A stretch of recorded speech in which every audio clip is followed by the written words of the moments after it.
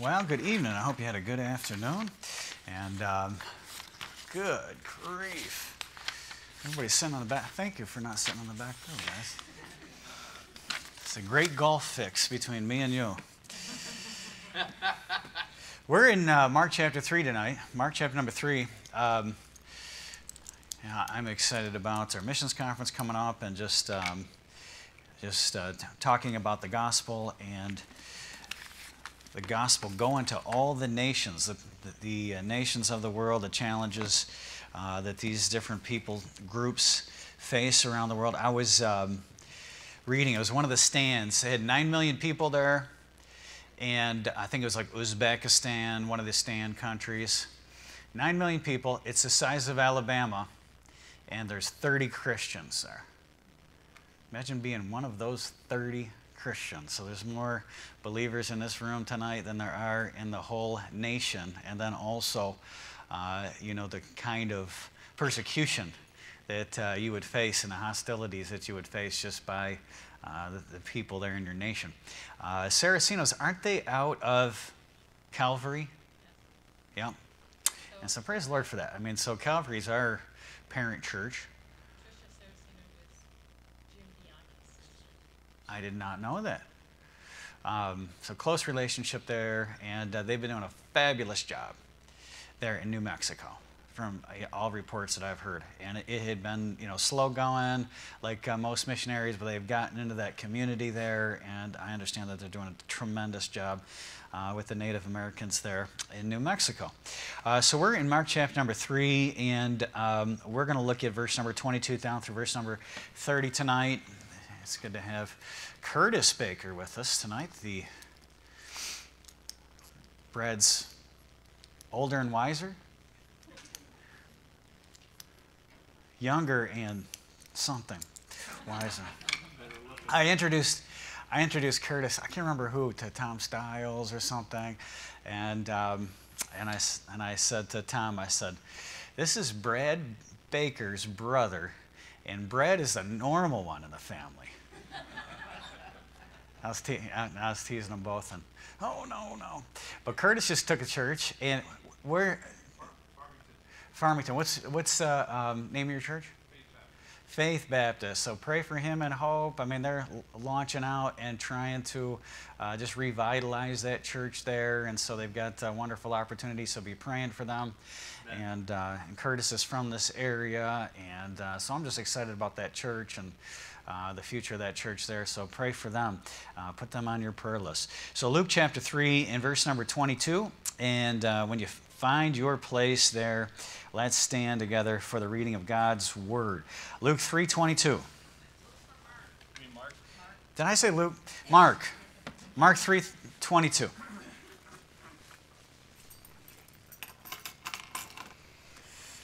Mark 3:22 it says there and the scribes which came down from Jerusalem said he hath Beelzebub and by the prince of the devils casteth he out devils. And he called unto him and said unto them in parables how can Satan cast out Satan? And if a kingdom be divided against itself, that kingdom cannot stand. And if a house be divided against itself, that house cannot stand. And if Satan rise up against himself and be divided, he cannot stand, but hath an end. No man can enter into a strong man's house and spoil his goods, except he will first bind the strong man, and then he will spoil his house. Verily I say unto you, all sin shall be forgiven unto the sons of men, and blasphemies wherewith, wherewith soever they shall blaspheme. But he that shall blaspheme against the Holy Ghost hath never forgiveness, but is in danger of eternal damnation, because they said, he hath an unclean spirit. Uh, and tonight we'll be talking about a blasphemy against the Holy Ghost. This was our text from this morning, uh, but we're drawing out these verses here. Remember that uh, if you're going to serve the Lord, if you're going to live the Christ life, if you're going to live the life that Jesus Christ lived, uh, that you will be opposed, that you will have adversaries. Uh, and the Lord's adversaries were of three different locales or uh, three different groups of people here in our text. Uh, one were his friends. His friends came uh, and said that he is beside himself. Uh, they wanted to seize him, really to, to take him away because they were worried about him, that he was putting himself into danger. Uh, and then his family came. Remember, this family were without and they were calling to him. And then the Lord there defined who his family was. Uh, there are those that do the will of my Father which is in heaven. Uh, and then his foes, the Lord's foes, opposed him here. Uh, and they attributed his work. They couldn't deny his power, they couldn't deny his miracles, uh, but they attributed his work to Satan, which would be blasphemy against the Holy Spirit. Tonight we'll look at this. We're going to look at a few other places in the Word of God. We'll talk about uh, God's deadlines and uh, there's different deadlines that we can cross. Two of them have to do uh, with unbelievers, people who do not know the Lord Jesus as their Savior, and one of them has to do uh, with believers, and we'll look at these deadlines this evening. Uh, so let's go Lord in, in, prayer and ask God's blessing and help, uh, and uh, pray that He would illuminate our minds and give us understanding hearts tonight as we look into the Scriptures. So let's pray. Lord, we thank you for the privilege it is to look into the eternal truth of God's Word. Amen. Lord, we thank you that our, we have an anchor for our soul. We have a final authority. Uh, we have a resting place. Uh, Lord, we thank you that we can come together uh, by way of the Holy Spirit together tonight uh, and just unify around the Word of God. Lord, I pray that you would uh, bless us as we look into your Word. Lord, I pray that you would help us as we just look into weighty matters of Scripture. We talk about blaspheming the Holy Spirit, we talk about sin unto death and these things. I pray that you give us understanding hearts and may we just, uh, just Eh, look at you tonight in reverential fear. I pray that you would help us just to examine our own hearts and our own lives. Lord, we pray in Jesus' name, amen and amen. You may be seated.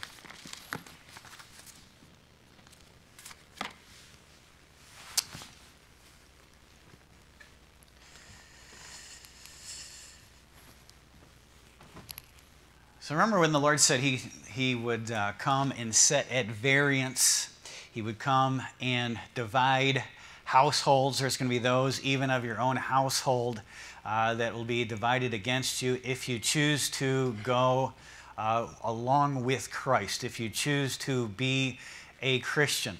Uh, if you get saved, let's say if you got saved like I did at the age of 22, uh, you've been living a certain way, you've been conformed to uh, the course of this world, uh, and uh, the friends and the companions that you have partnership with, you walk in lockstep with them, uh, and then the Lord. Um, he reaches down, He saves you. You're born again from above. You're taken out of Satan's family. You're placed into God's family.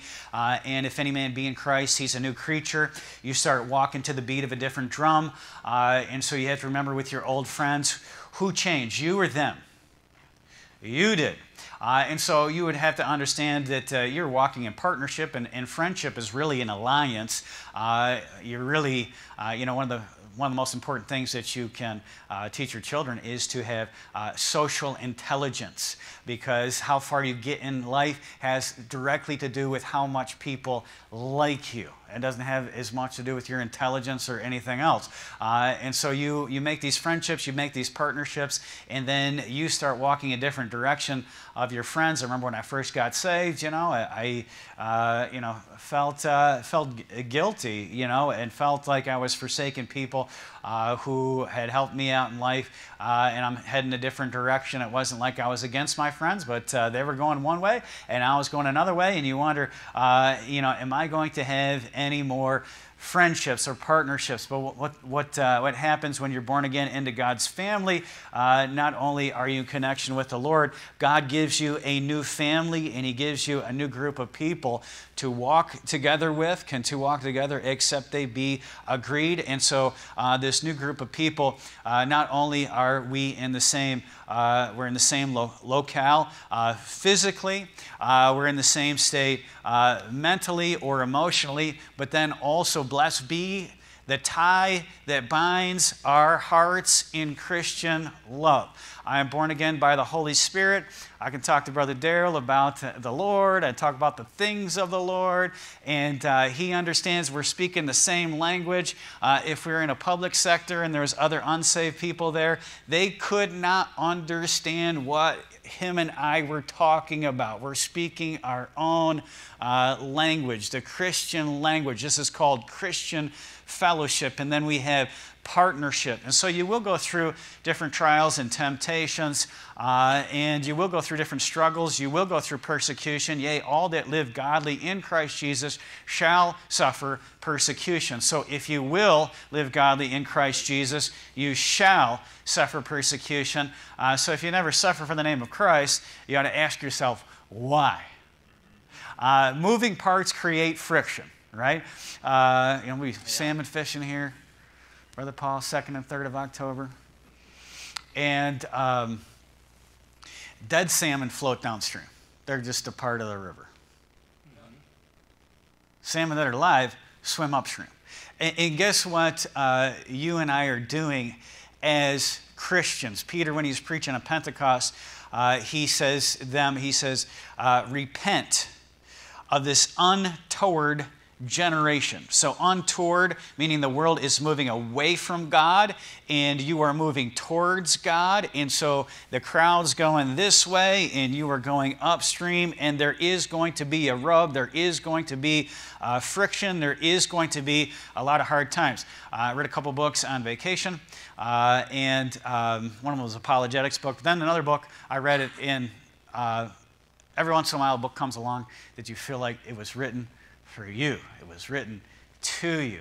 I want to call up the author and say, Thank you for writing this book. It was phenomenal. It was so good. It was about Charles Haddon Spurgeon. I've read several books on Charles Haddon Spurgeon. I had to take three credit hours for my seminary degree about Charles Haddon Spurgeon.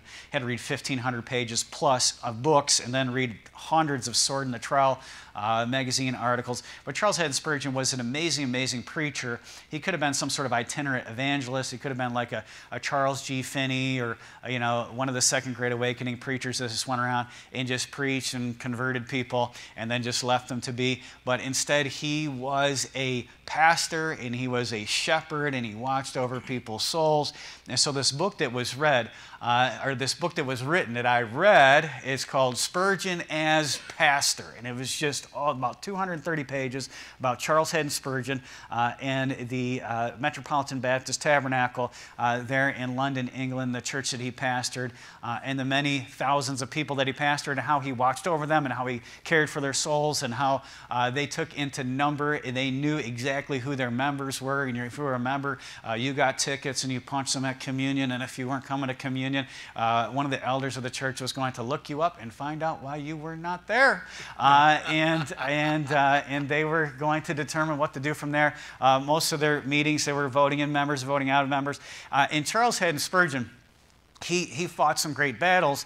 Uh, I mean, he, he wasn't, uh, wasn't mean, wasn't nasty, but sometimes he just drew the line uh, in certain areas. I mean, he would cooperate with different people we wouldn't cooperate with today. Uh, the guy who filled his pulpit more than anybody else, A.T. Pierson, uh, was a uh, baby sprinkled Presbyterian uh, from America come and fill Spurgeon's pulpit. Uh, and so that he would associate with some people that we would not associate with. Uh, but then there were some sins of society uh, that he would have, have absolutely nothing to do with. I was reading about how that in 1860 he wrote a open letter to an American publication, uh, and it was about the, the American slave trade. Uh, and he said, I would, I would much rather co- cooperate with an adulterer or I would cooperate with, uh, with a murderer than I would with a man stealer. He said, No man stealer will ever uh, preach in the Metropolitan Baptist Tabernacle. Well, um, you know where most Baptists are? In the South.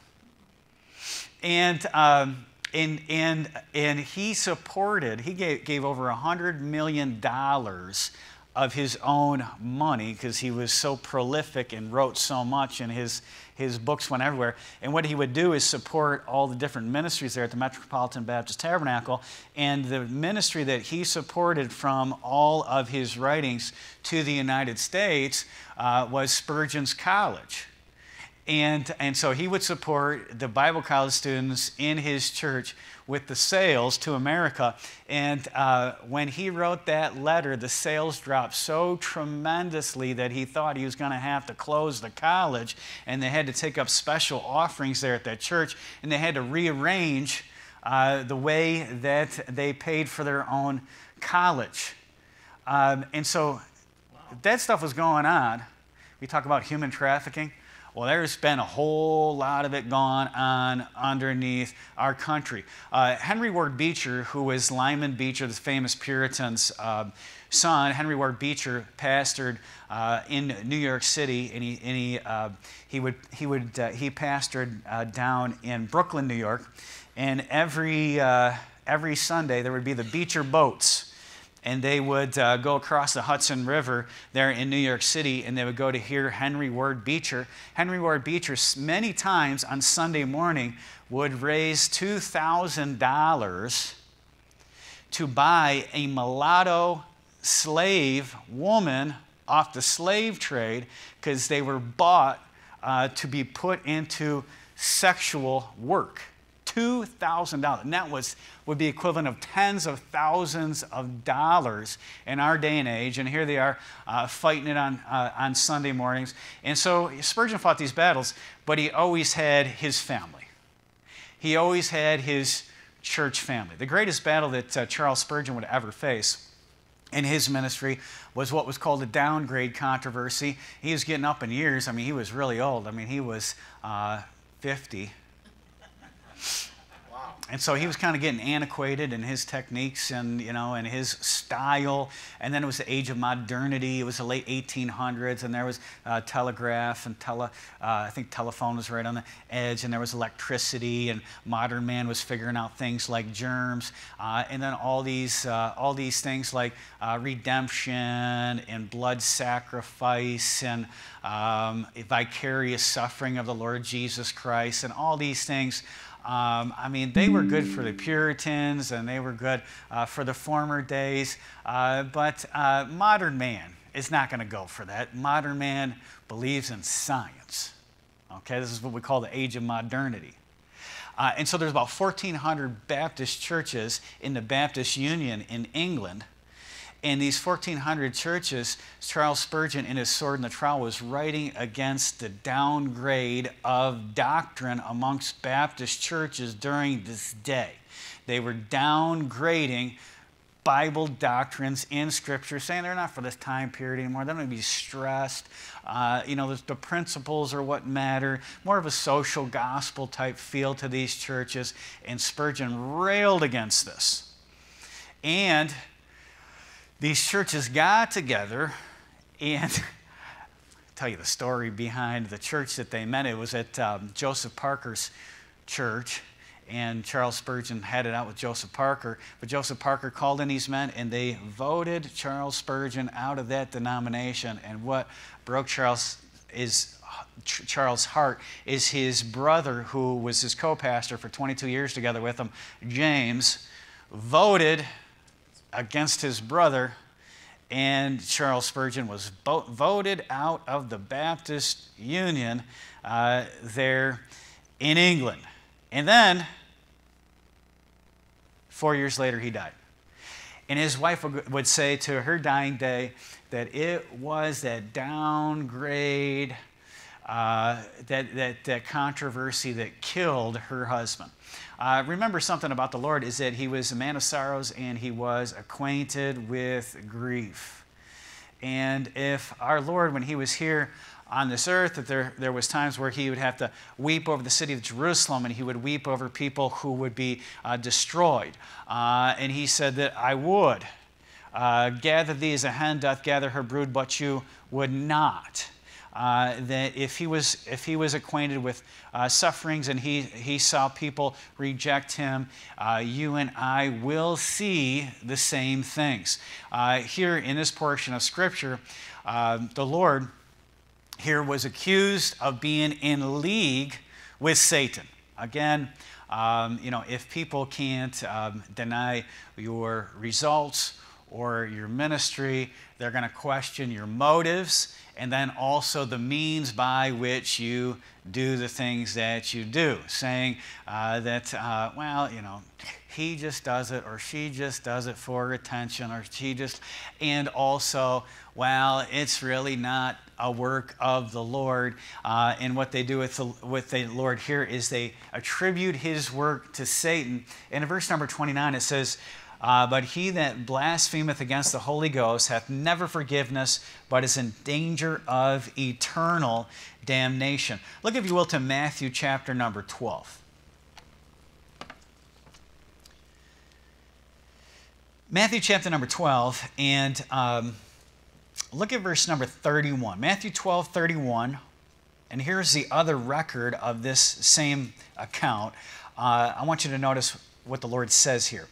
Matthew 12, 31, it says, Wherefore I say unto you, all manner of sin and blasphemy shall be forgiven unto men, but the blasphemy against the Holy Ghost shall not be forgiven unto men.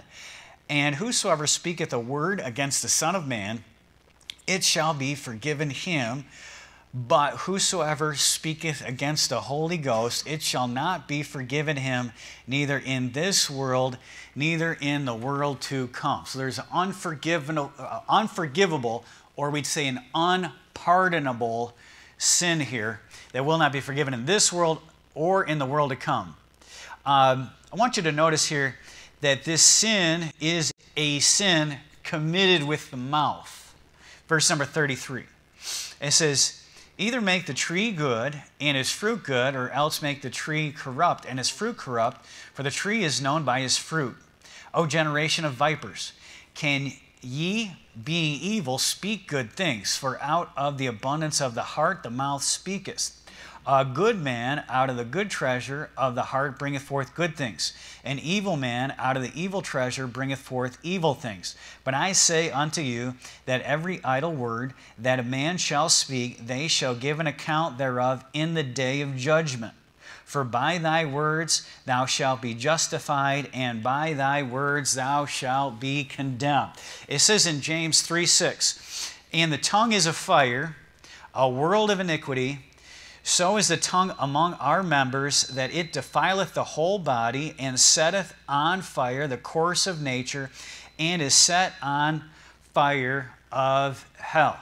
So you see here in Mark chapter number 3 and in Matthew chapter number 12, uh, what the blasphemy against the Holy Ghost was, is taking the Holy Ghost and attributing the work of the Holy Ghost to Satan. And they were saying that uh, whatever the Lord did, it was a result of Satan's work. It was not a result of what the Holy Spirit uh, did. We see other portions of Scripture that talk about this as well. Uh, Belteshazzar, if you remember, that he took uh, the, the golden utensils uh, uh, from the, the treasury that were in the temple, brought to Babylon from Jerusalem, uh, and he praised the gods of gold, the gods of silver, uh, and blasphemed the God of heaven. And they were having a drunken party there in Babylon. And then there was a handwriting on the wall, crossed the deadline. Mene, mene, tekel upharsin. I don't know why I can, I always re- can remember that, but uh, mene, mene, tekel upharsin. Thou art found in the balances and found wanting. And it says, and that night the king died. Um, Acts chapter number 12. Herod I think people are placating him. I can't imagine people really thinking that uh, Herod was an angel if you read anything about him, but he gave some sort of uh, oration and then he sat there uh, and they said, This is the voice of an angel, this is the voice of a God. Uh, and it says that he gave not God the glory, and an angel came down and immediately yeah, he was smitten with worms. That was it. Everything was done. He had spoke in a word against his own soul, uh, and it was all over. Uh, there's a famous sermon. The guy, uh, J. Harold Smith, uh, preached a sermon hundreds of times, perhaps a thousand times, called God's Three Deadlines. I took his title tonight, too. And um, God's three deadlines, and there really are theologically three different deadlines in the Bible. And blasphemy against the Holy Spirit is one. He tells sensational story after sensational story uh, about being in different meetings and preaching. And uh, talks about a young man he goes back to. Uh, he Sam saw him coming into the tent meeting late, uh, and he says, "Young man," he said, "I come back here. I really feel like the Holy Spirit sent me back here to talk to you." Uh, and he said, "Let me tell you something, Mister. I'm here to pick up a girl, and uh, I want nothing to do with this meeting. You and the Holy Spirit can go." and he said that that uh, young man hopped on his motorcycle. Uh, 30 seconds later, he was hit by a car right out in front of the tent meeting. Again, story after story after story after story, uh, and you would have to watch or uh, listen. You look it right up on YouTube, uh, and and there's a sin against the Holy Spirit that once committed, it's a deadline. It is over. It is done. Uh, here's, here is one of the reasons why, and we can only speculate that why is blasphemy against the Holy Spirit an unpardonable sin? Jesus said that you can blaspheme Him, you can blaspheme the Father, but if you blaspheme the Holy Spirit, it shall never be forgiven you. Jesus, when He was on the cross, Father, forgive them, for they know not what they are doing. Uh, in the book of Acts, uh, we see there that uh, as, as Peter was preaching, he said, If they had known, they would not have crucified the Lord of glory. There was a sin of ignorance in there when they were blaspheming, when they were scoffing uh, the Lord Jesus Christ. Uh, in, but um, they did not know what they were doing, and it was forgivable. Uh, turn, if you will, to uh, Hebrews chapter number 6. Hebrews chapter number 6.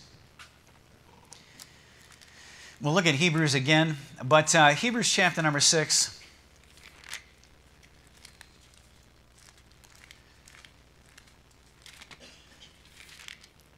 The book of Hebrews is written to the Hebrews and is telling them to continue on uh, to better things. The theme of the book of Hebrews is better things.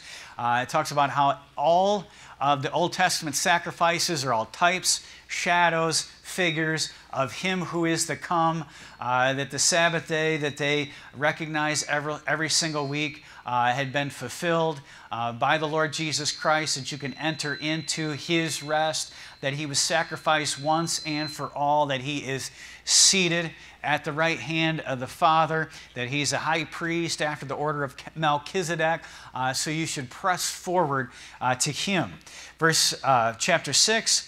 And then look, look down, if you will, um, into, into verse number 4. It says, For it is impossible for those who are once enlightened and have tasted of the heavenly gift and were made partakers of the Holy Ghost, and have tasted of the good word and the powers of the world to come, if they shall fall away, to renew again unto repentance, seeing they crucified to themselves the Son of God afresh, and put him to an open shame. Uh, for the earth which drinketh in the rain and cometh oft upon it, and drinketh forth herbs meet for them, by whom it is dressed, receiveth blessing from God. But that which beareth thorns and briers is rejected, and is nigh unto cursing, whose end is to be burned. Um, but, look at verse number 9. But, beloved, we are persuaded better things of you, and things that accompany salvation though we thus speak. Uh, it is impossible for those who are enlightened, those who have tasted the eternal gift, those who have seen the Son of God uh, crucified afresh and having turned away.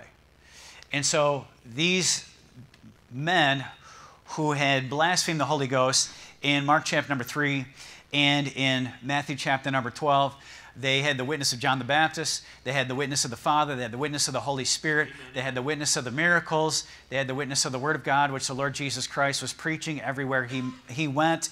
Uh, the Lord had this platform of signs there. Uh, the Lord said that uh, you have experienced me. You have experienced me through the Holy Spirit. Uh, and the Holy Spirit is it uh, the, the sweet succorer of God, which woos every man uh, to come in to him as the voice that's calling out in the street, uh, Come unto me, all the ends of the earth, and be saved.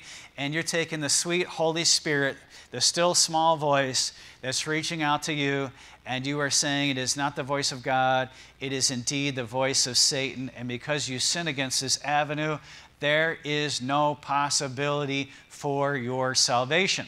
Have you ever talked to somebody that um, was worried that they had blasphemed the Holy Spirit, that they had committed the unpardonable sin? Raise your hand. Let me ask you a question. If the Holy Spirit is the wooing voice of God, if the Holy Spirit is the one who convicts you of your sin and shows you the need for the Savior, if you were worried about whether or not you committed uh, the unpardonable sin, have you committed the unpardonable sin? No. no. Uh, you see something similar in Romans chapter number 1. Uh, it says they did not want to retain the knowledge of God in their mind, so therefore God gave them over to a reprobate mind. Um, I was reading about Vice President Aaron Burr. Remember Aaron Burr? Uh, he would have been president of the United States. I don't think he was a very good man. I know he's very, very immoral. Uh, he was married, however, to Jonathan Edwards, I think, great granddaughter. Uh, but he's the one who cha- challenged Alexander Hamilton to a duel. Yeah. I was reading about him. He said, I made God a, long, a deal a long time ago. If uh, he left me alone, I would leave him alone. And he has kept his end of the bargain, and I have kept mine. Very scary. Uh, and so, someone who has blasphemed the Holy Spirit is saying to God, Leave me alone. I do not want to retain the knowledge of God in my mind. And so, God gives them up over to a reprobate mind. And so the first deadline you see in Scripture is this unpardonable sin. Uh, number two deadline that you see in the Bible um, is, is sinning away your day of grace. Turn, if you will, to Proverbs chapter number one. Proverbs chapter number one.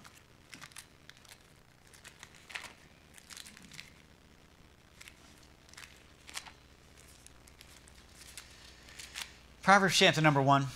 And Look at verse number 24.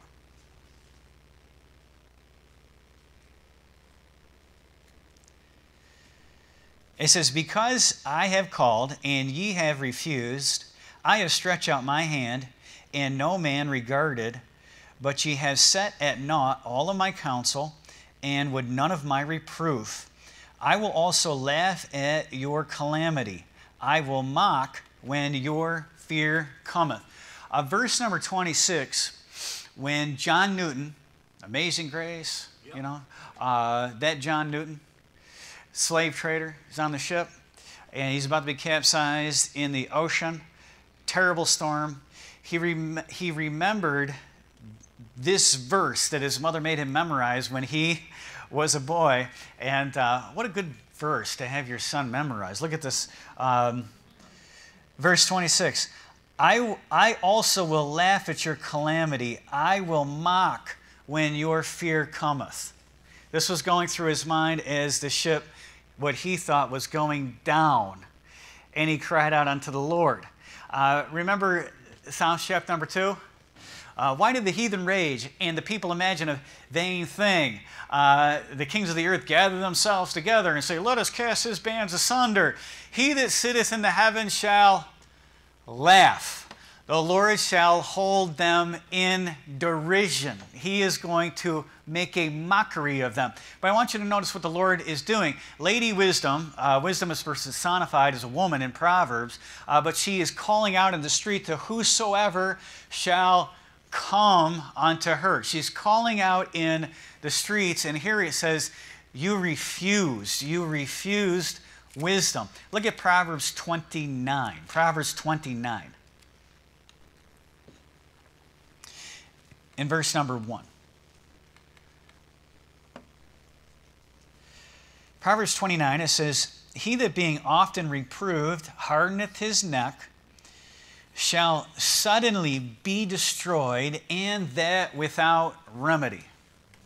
Um, so, Lord calls and calls and calls again, and a person says that I will harden my heart, I will stiffen my neck, I will not listen to this voice. It says, then suddenly that person will be uh, cut off, and that without remedy. We see this again in Proverbs that there's a sudden destruction.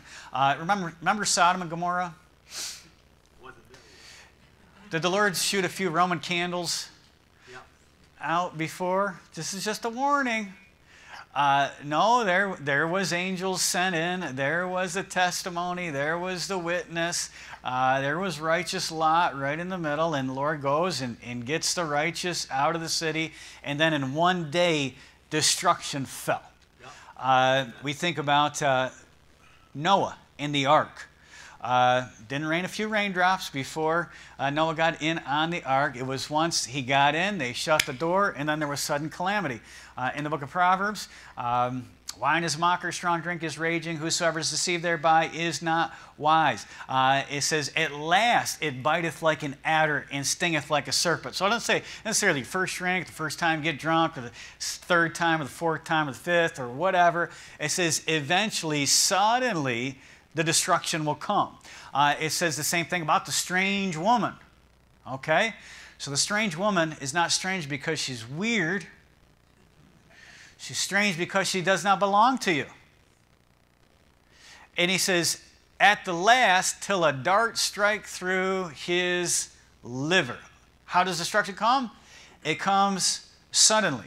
And so in verse number one of Proverbs 29, it says, He that being often reproved hardeneth his neck shall suddenly be destroyed, and that without uh, remedy. Uh, turn to Hebrews chapter number 2. Back to Hebrews chapter number 2.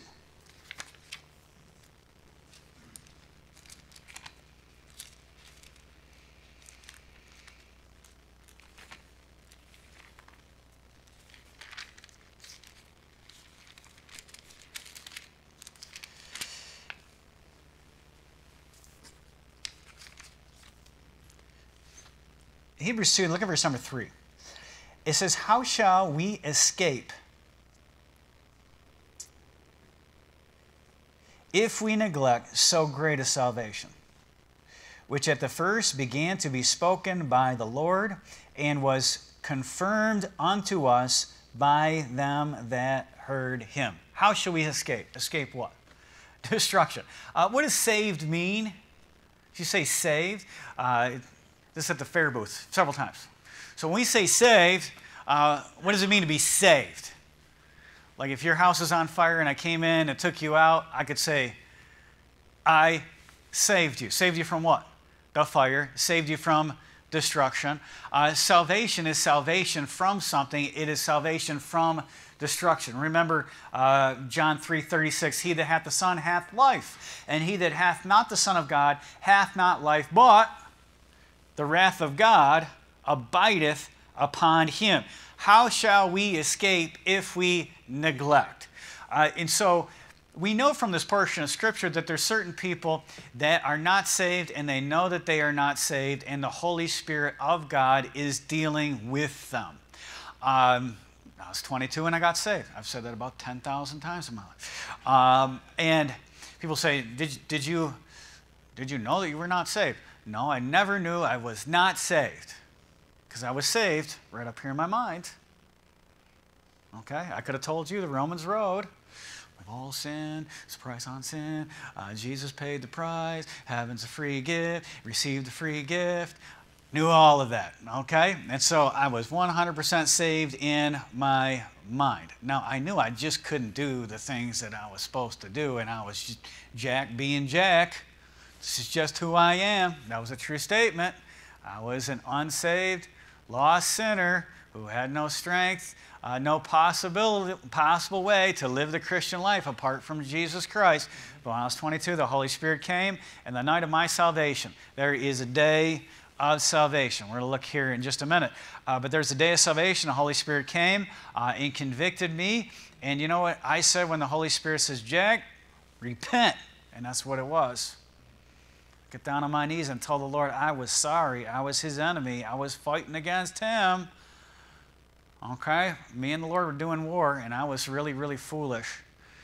It's kind, of, it's kind of like when your little brother's fighting, you You can hold him off with one finger and he's swinging at you. That was me. Fighting against the Lord, and I realized if he squished me like a he, I deserved it, and he was just in doing so, and I agreed with God about my sin. I said, Yes, Lord, I am worthy of death. I'm worthy of hell. I'm worthy of eternal torment. And you are a just God, and I am sorry. Lord, save me. Whosoever shall call upon the name of the Lord shall be saved. Peace and joy. First time. Tears come down my face. Experiencing the joy of the Lord. The darkness becomes light. But there's some people perhaps in this room that you know you're not saved. And the Holy Spirit is dealing with you. How shall we escape if we neglect so great a salvation? Your destruction will come suddenly. You will be cut off. And that, it says, without remedy. There is a deadline coming uh, for those who are neglectful of salvation. And so, sinning away the day of grace. Look at your well to verse number six, same chapter, Hebrews 2. But in one certain place, he testifies, saying, What is man that thou art mindful of him, and the Son of Man that thou hast visited him? Thou hast made him a little lower than the angels, and hast crowned him with glory and honor, and thou hast set him over the works of thy hands. Uh, what is man that thou hast visited him? Look, if you will, to Hebrews 10, and look at verse number 26.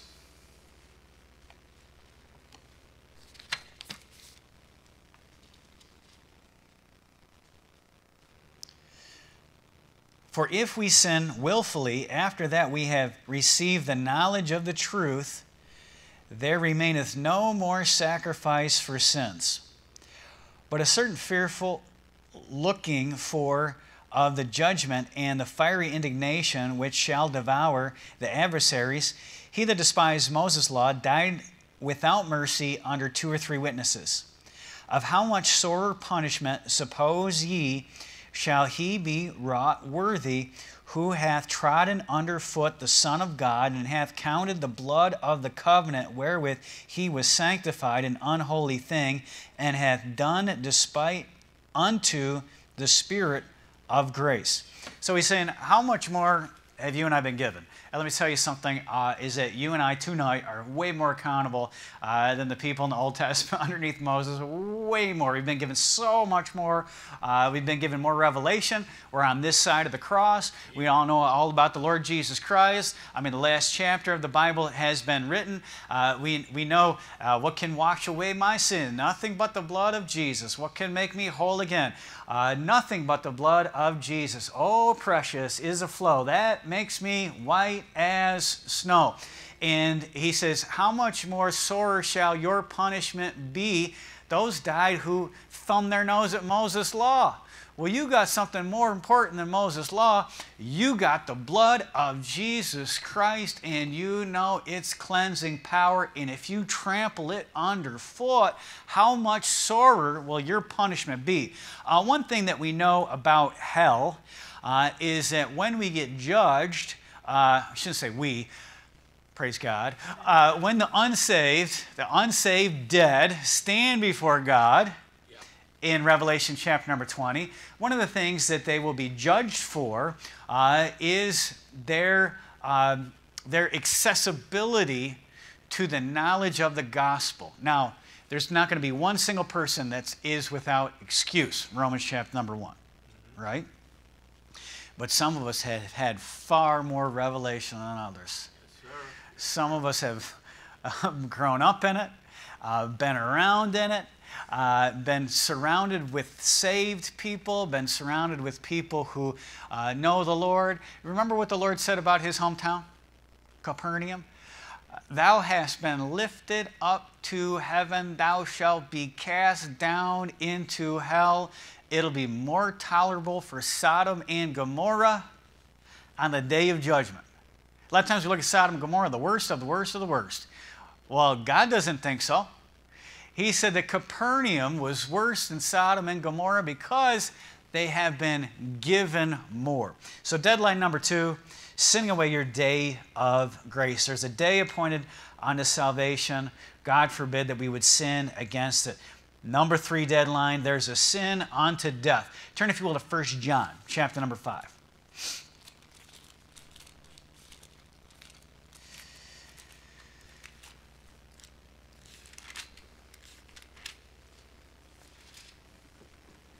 First John chapter number 5, and um, look at verse number 16.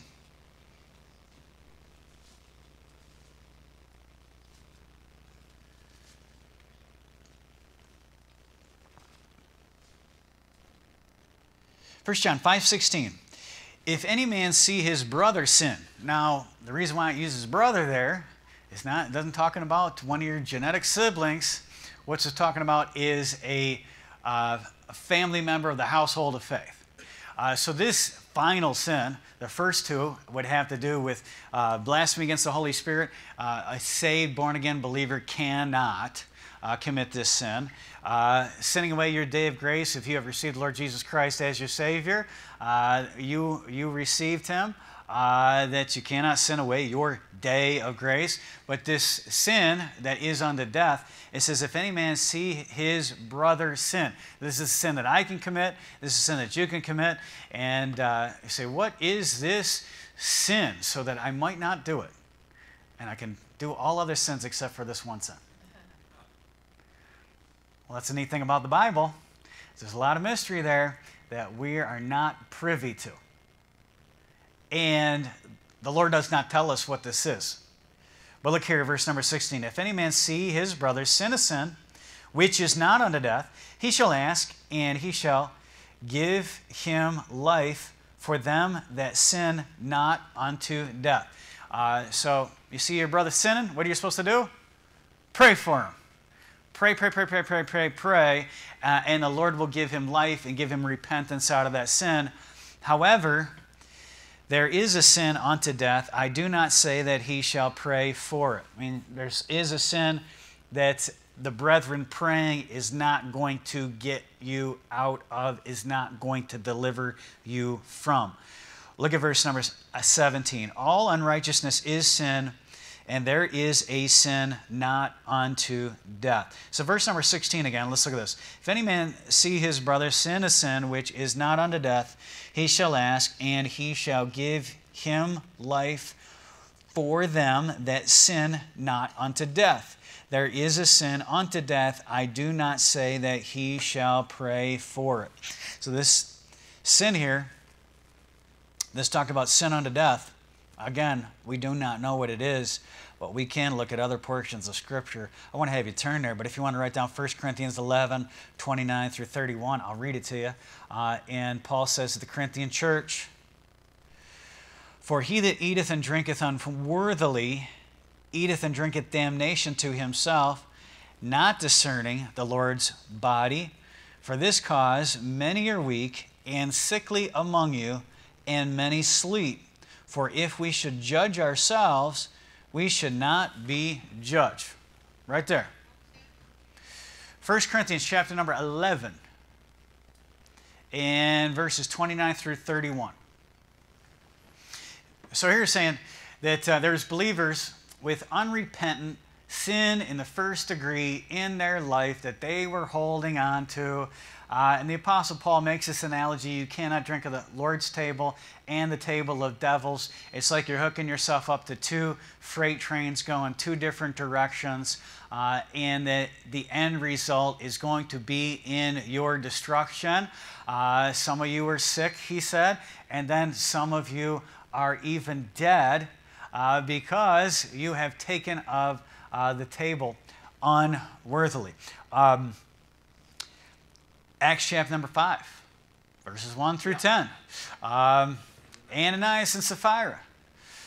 I, I believe uh, for sure that uh, Ananias and Sapphira, they were children of God. Amen. Amen. Amen. And remember that um, they lied to the Holy Ghost. How'd they do that? Sin with their mouth, right? Uh, they got in front of the church and praise the Lord. Just like Barnabas did in chapter 4, yeah. we're giving all, right? Uh, and uh, we sold land and we're giving it all to the Lord. Praise the Lord. Aren't we some? And, uh, and then Sapphira called in, uh, Ananias, Ananias gets called in first. He dies. Sapphira gets called in, uh, and she dies. And we see there two different people that committed a sin and a sin unto death. Here's three things about the way God uh, works God speaks to us through His Word. Uh, Paul said, if we would judge ourselves, we should not be judged. Uh, so there is not some secret sin that you don't even know about that God is going to destroy you for. If you have a secret sin in your life that you know directly contradicts God in His Word, what you need to do is repent. Of it and don't keep it hidden. Go before the Lord and confess it, forsake it, get the help that you need, and get that out of your life. You don't want to be sick, and you definitely don't want to be dead. So God speaks to us. He that hath ears, let him hear, right? Then God spanks. God speaks, God also spanks. One of the reasons why you know you're God's child It's because every once in a while He takes ownership of you. Whom the Lord loves, He chastens every son. Remember, just he says, like the earthly fathers, they did that for their own benefit, uh, and I can identify with that. Um, I, I want to like my children, okay? Therefore, I will discipline them to get them into uh, a model that I enjoy being around. And then also, I do not want them embarrassing me or anything else. And therefore, uh, I will raise them after my own image and my own likeness. I know. I will raise them up in the nurture and the admonition of the Lord. Uh, but it says, Your fathers chastened you for a little while, and you reverence them. Uh, but the Lord chastens us for our benefit. So the Lord speaks, the Lord spanks, he chastens. Hebrews 12, 6 and 7, whom the Lord loveth, he chasteneth, and scourgeth every son whom he receiveth. If we endure chastening, God dealeth with you as sons. For what son is he whom the Father chasteneth not? And then finally, God speaks, God spanks, and then if that isn't sufficient, God separates. Remember, that God looks at death a whole lot different than you and I do. Okay? Um, so I promise you this. Uh, if you have tonight, if you have some unrepentant sin in your life, sinning in the first degree, um, you do it, you enjoy it, you know that God's word forbids it, but you're going to do it anyway, you're unrepentant of it, uh, it's hidden, it's tucked away in your life. Uh, the Lord is going to rebuke you through His Word. Uh, you can plug your ears and blah, blah, blah, blah, blah, blah, blah. I can't hear what you're saying, Lord. Uh, anytime that comes up, you're plugging your ears. Uh, then the Lord comes down from heaven and chastens you, and you harden your neck and just toughen up, and you say, I'm going to double down on this. It's mine, mine, mine, my little, my little pet, my little hobby sin. Uh, and God looks down in mercy, and God looks down in love. And, you know, Brother Curtis, you know, I, you know, I was, I would say this, I've said this a ton of times. You know, if God, if I just die out of the blue, just figure that, um, that, that I was going to, I've asked the Lord this, you know, if I'm going to commit some sort of a sin that is going to bring shame on Christ, I'd much rather just get hit by a truck, have a nice funeral, and everyone talk about how great a guy I was. Okay? Uh, than to bring reproach and bring shame on the name of Christ. You know, God said, Jack, go to your room. I've spanked you enough, you won't listen. I've, I've preached to you, you wouldn't listen. I spanked you, you wouldn't listen. Now go to your room. You get up to heaven, you're like, thank you, Lord, for delivering me from myself. You know, dying and going to heaven is not as bad as you think. Okay? But really, why would you want to die and go to heaven when you didn't have to, when you could have just repented of your sin uh, and you could have just come before the Lord and asked for forgiveness and been restored. And again, what is that sin unto death? You study it for a while and you get back to me and you tell me what it is. I don't know. Some sort of unrepentant sin, that we harden our neck, and we don't get it right with the Lord. So remember three deadlines. One is blaspheming the Holy Spirit. Another deadline is sending away the day of grace. The Lord reaches out to you for salvation, reaches out to you for salvation. You slap his hand away, slap his hand away, slap his hand away. Another deadline is the deadline for the believer. There is a sin unto death, and let's all avoid that. So let's, uh, let's pray, and then we'll have an invitation. Lord, we thank you for your word. And Lord, we, we thank you for the warnings from Scripture. And Lord, help us to have wisdom. And Lord, help us to um, just live before you with godly fear that you are our Heavenly Father and that we should look at you with reverential awe. And Lord, I pray for each and every person here. I don't know the state of everybody's souls. You do. You know our hearts. You know those who have need of salvation. Uh, you know those here who have uh, a need of just repentance and they have some, something in their life they need to get rid of. And Lord, I pray that you'd help us as we talk to you about the things which we've heard tonight. In Jesus' name, amen.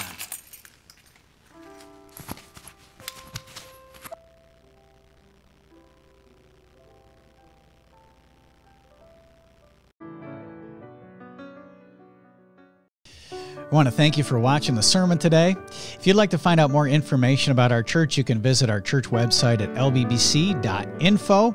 If you'd like to email us, you can email us at mylbbc at gmail. I also have a website, pastorjack.org. You can sign up for my blog there. Uh, and then also, we do have a podcast. It's called the Pastoral Thoughts Podcast, and you can find that on podcast apps, and you can also find that on YouTube. God bless you. Thanks again for watching, and we'll see you next time.